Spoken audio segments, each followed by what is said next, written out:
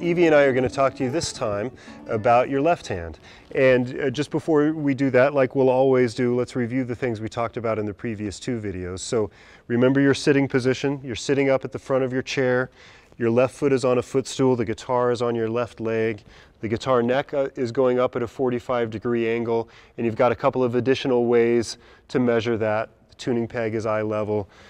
It's leaning against your chest here. It's touching your right leg and your right forearm is on the top of the guitar, measured by tracing the line of that bridge up to the top of the guitar.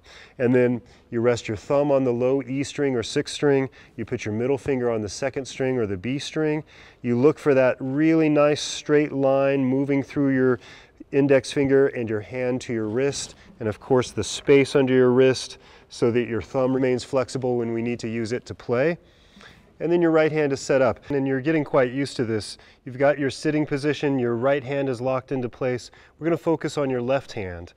And your left hand is so dependent on this sitting position being the way it is, with the guitar neck on the left side of your body. Just as an example, again, you saw me sit like this earlier. If the guitar is on the right side of my body, my left hand has to cross the center of my body in order to play this part of the neck. And you can probably imagine that it interferes with my freedom of motion as I get up into this area of the frets. Not a good idea. So once the guitar neck is on the left side of my body, then I have free range of motion all the way up and down the neck. I can reach every string and every fret equally well. So let's talk about three or four vocabulary words that we really need to be able to communicate well. The first, and this is probably obvious to all of you, is that these metal lines that intersect the neck of the guitar are frets. Most classical guitars have 19 frets. We're going to concern ourselves with the first four frets in the early part of lead guitar book one. And right now we're going to focus on the third fret. So as we set up the left hand, we're also going to talk quite a bit about the finger numbers of the left hand. We number the left hand fingers as one, two, three, and four. Easy to remember. For now, we're focusing on your third finger, and it's going to play the third fret of the second string, or the B string, the same string you've been playing all along with your right hand.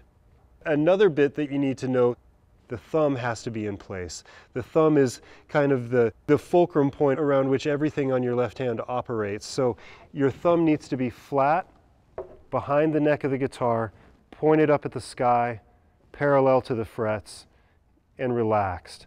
Your thumb should be approximately behind the second fret of the guitar, or approximately in the center of your left hand.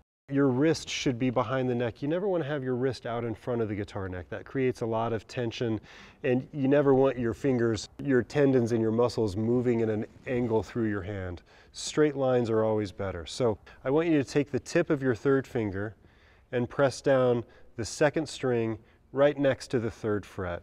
And you can see that I'm pressing down not here in the middle of the two frets, definitely not over here, but right next to the third fret. Let's practice pressing down your third finger on the third fret of the second string, the B string, and letting go. I want you to press down and hold that note and let go. Press down. And when you press down, you're creating a D note. That's a D note, and let go. And that's the B note that you've been used to playing.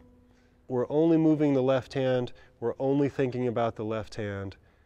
And when we've done this really well several times and you're comfortable doing it well, then we're going to add the right hand. We're going to play rest strokes, of course, with the right hand. And we're going to play each of these left hand notes two times. We're going to play two D notes. Then we're going to lift your left hand finger just a little bit off the string and play two B notes.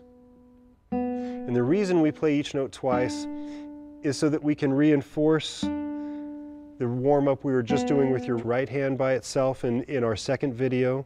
So each note gets a middle finger and an index finger from your right hand, and then you lift and change, middle finger, index finger. So that idea of alternating in your right hand is being reinforced as we practice your left hand now.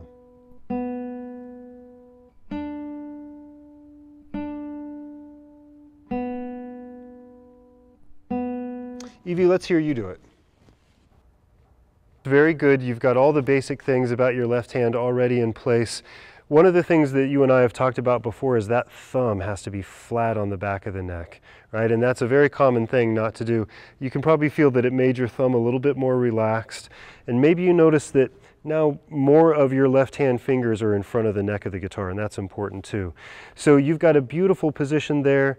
Your third finger is right up against the fret right where you want it.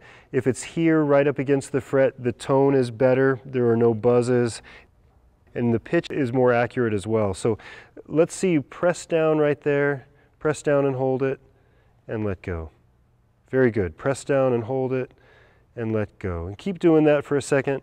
Other things I like are your knuckles are parallel to the bottom of the neck and you've got a nice space on both sides of your hand, a nice space between the bottom of the neck and your hand. Great.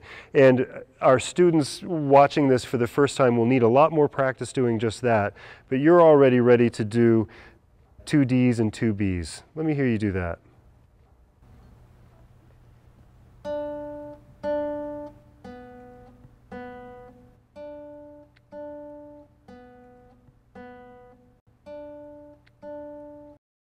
Beautiful, Evie. That's exactly how you do it.